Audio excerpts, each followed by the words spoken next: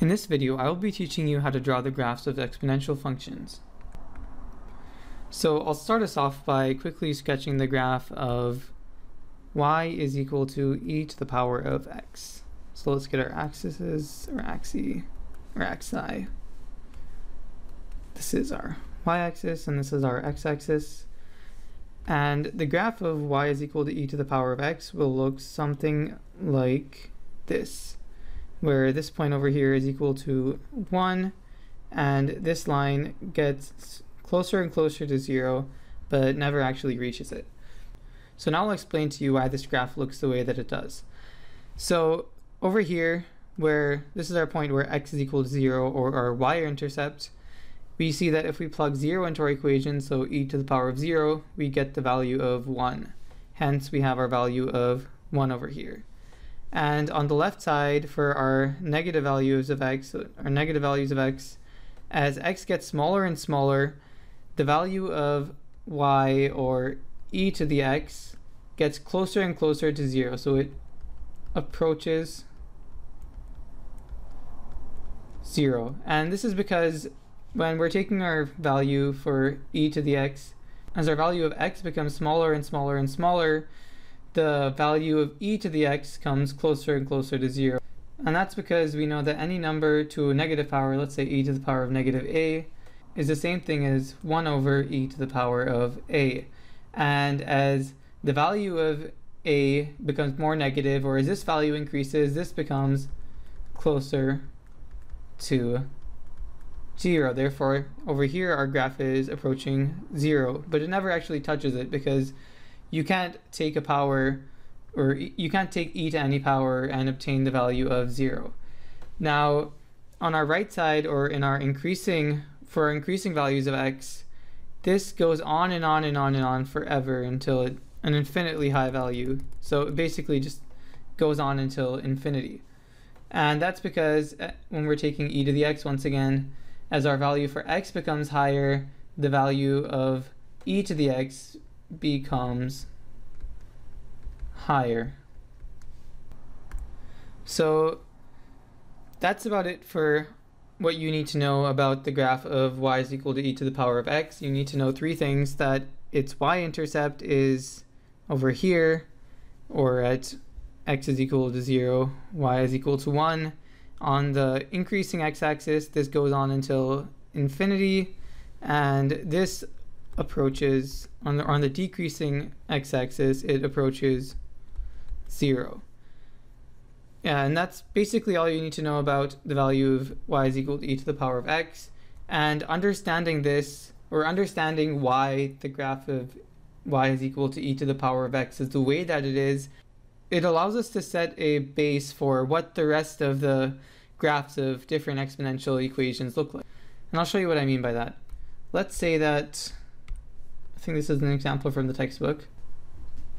We want to graph our function of y is equal to 3 times 3 times e to the power of negative 2x minus 5.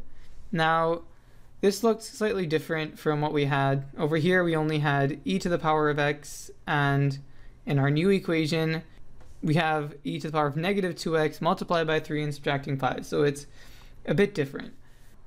So when we're solving exponential equations, there are four things that we always want to keep in mind or that we want to look for in order to draw our graphs. And those are the x-intercept, the y-intercept, so this is the point where it meets the x-axis and the point where it meets the y-axis. And we want to find the value of y as x approaches infinity or as x gets bigger and bigger and bigger. And we also want to know the value of y as x approaches negative infinity or as x becomes smaller and smaller and smaller. Okay, so now that we know how to draw the graphs of exponential equations, let's, let's apply that to the question that we have over here. So let's draw our axis, or axis, axes once again. We have our x-axis and our y-axis. So our first step is to find our x-intercept or the point in our graph where y is equal to 0. So that's just algebra for us. So we solve for 0 is equal to 3 times e to the power of negative 2x minus 5. 5 is equal to e to the power of negative 2x, or 3e to the power of 2x. 5 over 3 is equal to e to the power of negative 2x. Take ln of both sides.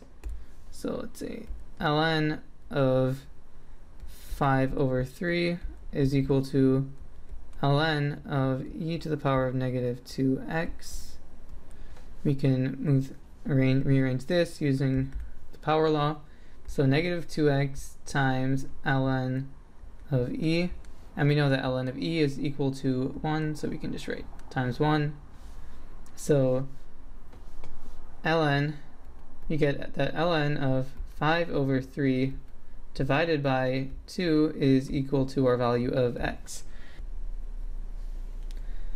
Sorry, I don't have the software on my computer. My on-screen calculator doesn't have ln. So I'll just tell you what this is. We get that x is equal to negative 0.225 or negative 0. Point, I'm sorry, negative 0.255. So we can mark that point over here where y is equal to 0, x is equal to negative 0 0.255. So now our next step, as we know, is to find our y-intercept. We simply plug in the value of x to be 0. So we get y is equal to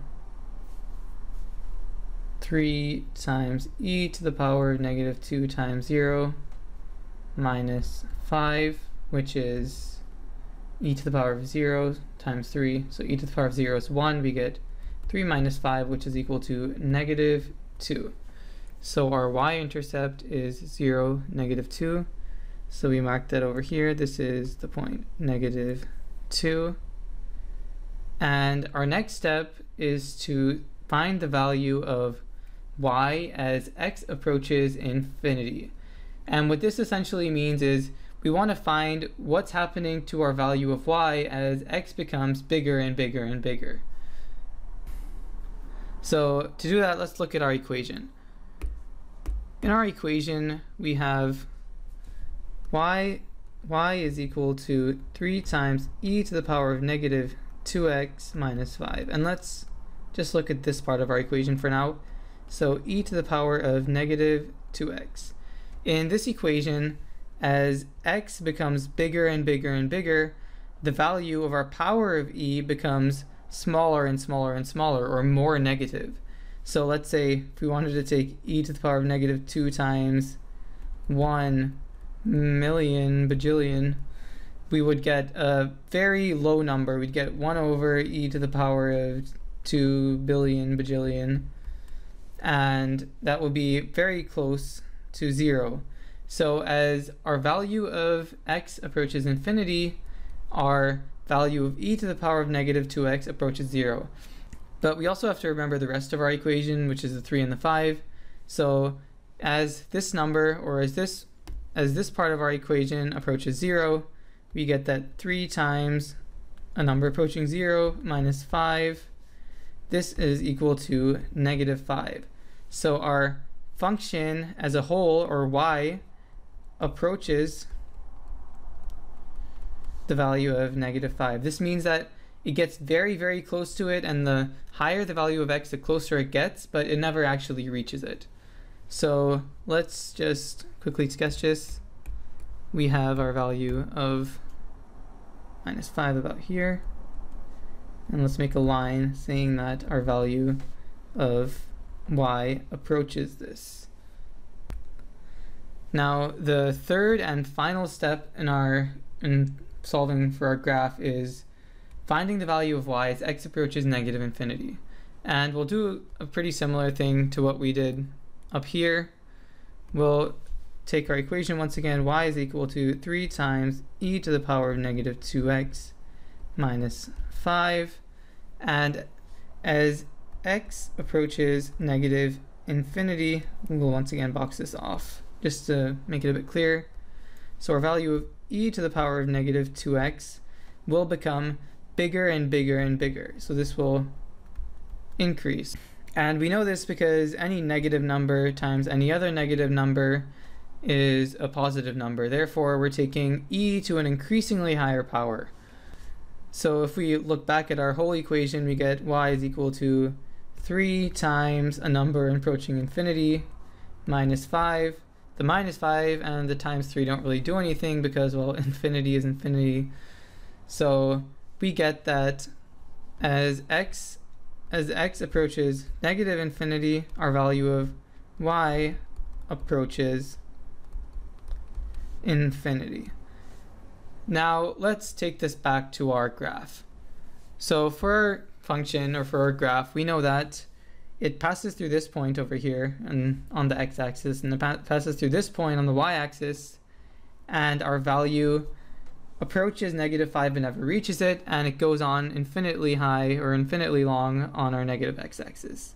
So when we sketch it, it will look something like this. On our positive side, it approaches the value of negative 5 and never reaches it. And on our negative x side, it just goes on and on and on for infinity.